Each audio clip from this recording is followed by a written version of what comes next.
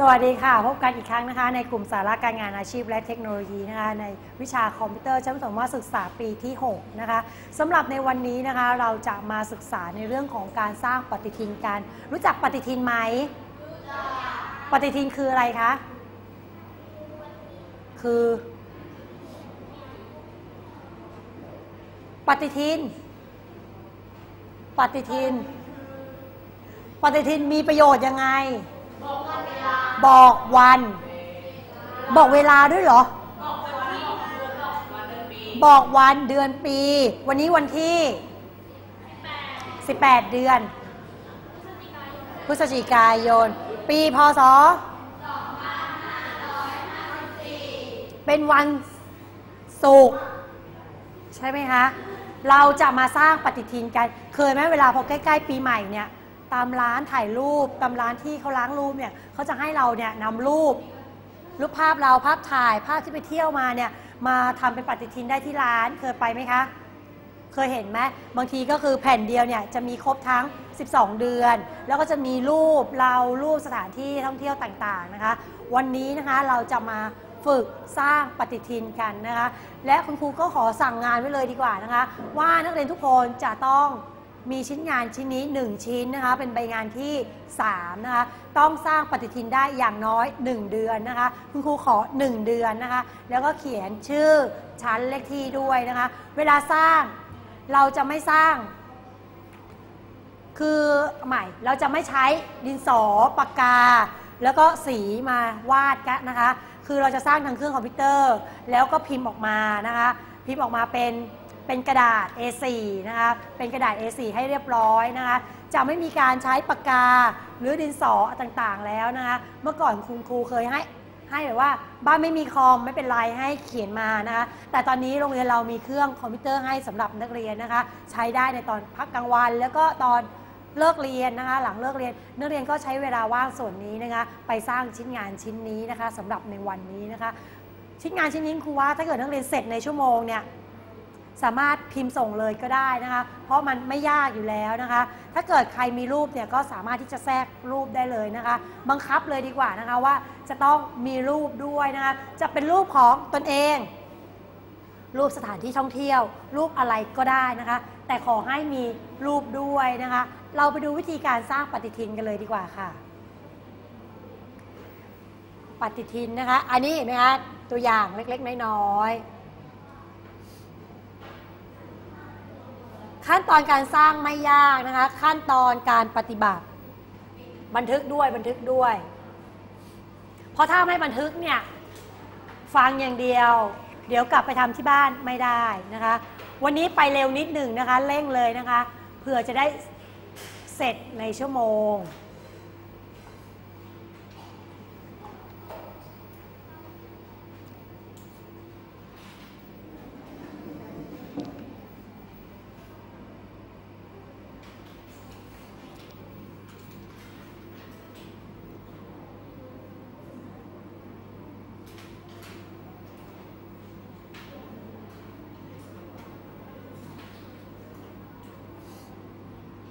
คุณครูจำได้ว่าเมื่อปีที่แล้วนะคะ ปีที่แล้ว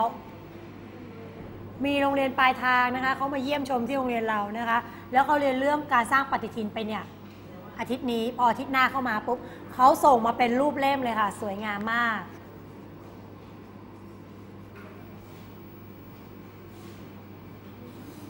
ขั้นตอนที่หนึ่งนะคะ คลิกที่เมนูมุมมองนะคะ เลือกบานหน้าต่างงาน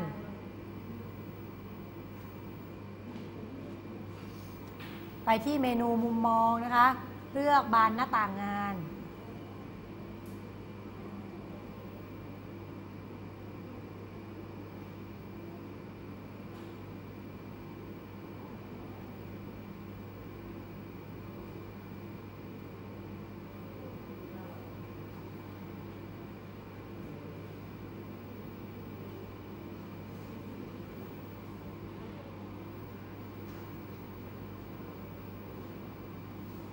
เวลาคลิกที่บานหน้าต่างงานแล้วเนี่ย ทางด้านขวามือของจอนะคะ มันก็จะมีหน้าต่างงานขึ้นมาให้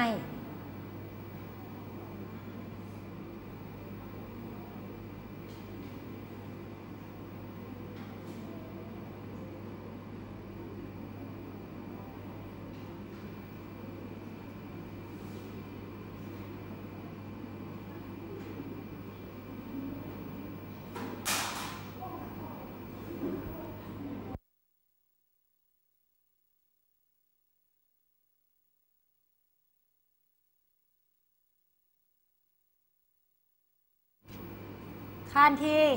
2 นะคะ พอเราคลิกที่มุมมองมาหน้าต่างงานปุ๊บเห็นไหมคะ ทางด้านขวามือมันจะมีหน้าต่างตรงนี้ให้นะคะ ให้เราเลือกที่ เอกสารใหม่นะคะ ไปคลิกที่เจ้าสามเหลี่ยมนี้นะคะ แล้วก็เลือกเอกสารใหม่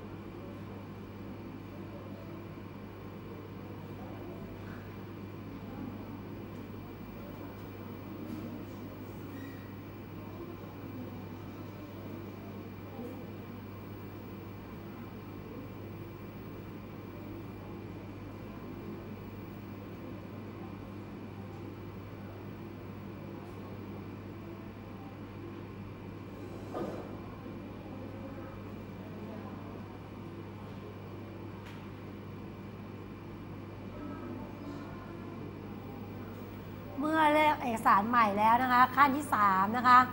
ให้เลือกแม่แบบบนคอมพิวเตอร์ของฉัน มันจะเข้าเป็นขั้นตอนขั้นตอนไปนะคะ เมื่อได้เอกสารใหม่เสร็จมันก็จะมีแถบหน้าต่างเนี่ยหน้าตาหน้าตาก็จะเปลี่ยนไปนะคะ เราก็ไปเลือกที่ แม่แบบบนคอมพิวเตอร์ของฉัน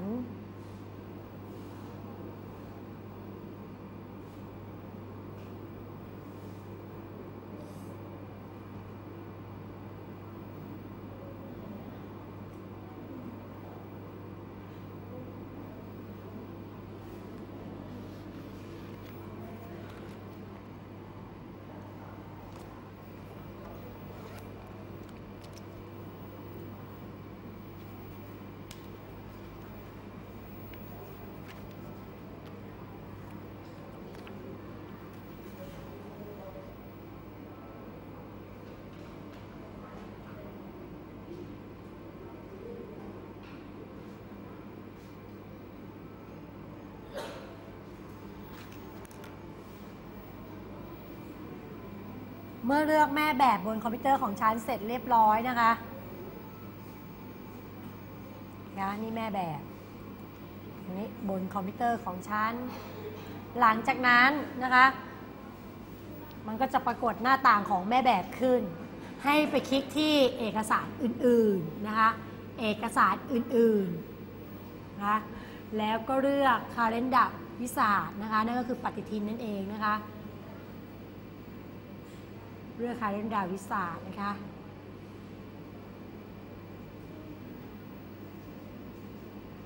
พอเลือกปุ๊บเห็นไหมคะทางด้านขวามือ จะมีตัวอย่าง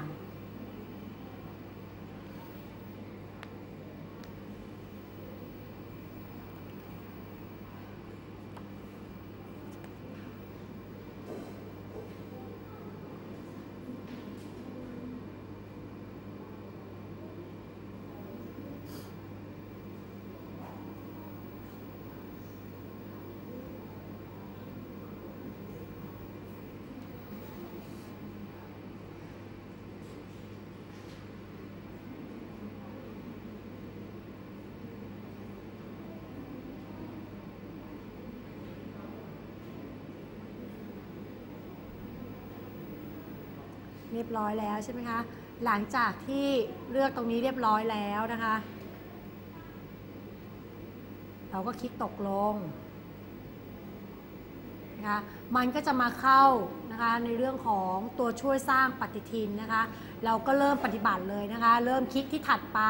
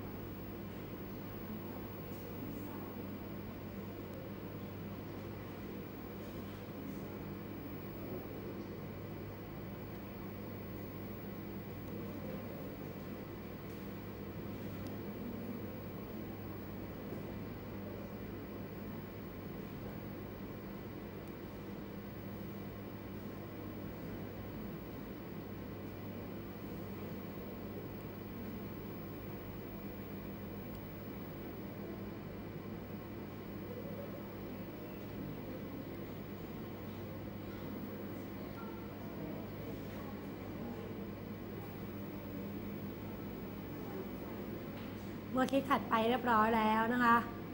เลือกลักษณะที่ต้องการนะคะ ลักษณะที่ต้องการนี่ก็คือรูปแบบของการ ที่เราจะให้ปฏิทินออกมานะคะ มีอยู่ 3 ลักษณะนะคะ เป็นแบบที่ 1 ก็คือกล่องและเส้นขอบนะคะดูรูปแบบได้เลยเป็นกล่องและเส้นขอบแบบที่ 2 เป็นป้ายประกาศนะคะแบบที่ 3 สวยงาม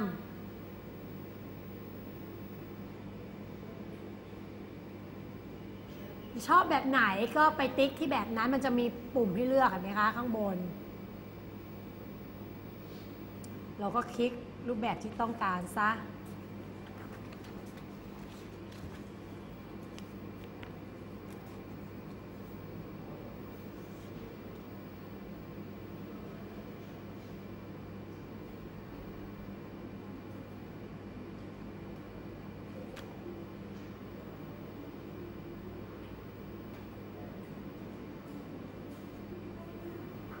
เมื่อเลือกแบบได้แล้วนะคะ ลักษณะแบบไหนที่ต้องการเสร็จนะคะ เราก็คลิกถัดไป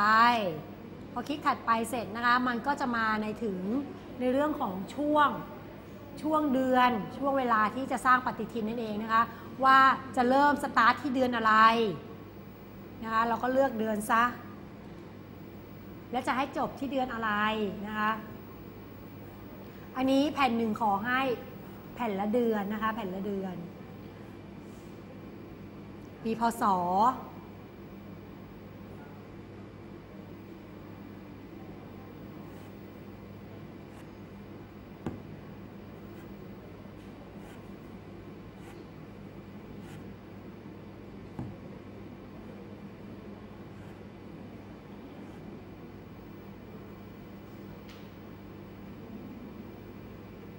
เมื่อเสร็จตรงนี้แล้วนะคะ ก็กดถัดไป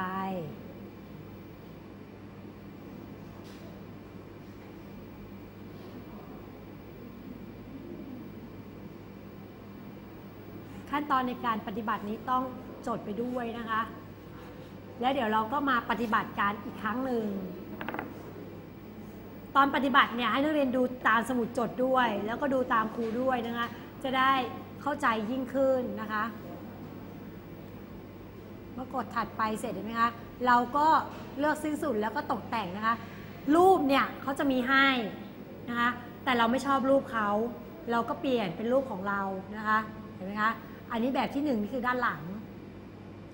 ในแนวตั้ง อันนี้คือแนวนอนอดูเต็มๆนะคะอันนี้ในแนวนอนนะคะเราสามารถเลือกรูปมาใส่ได้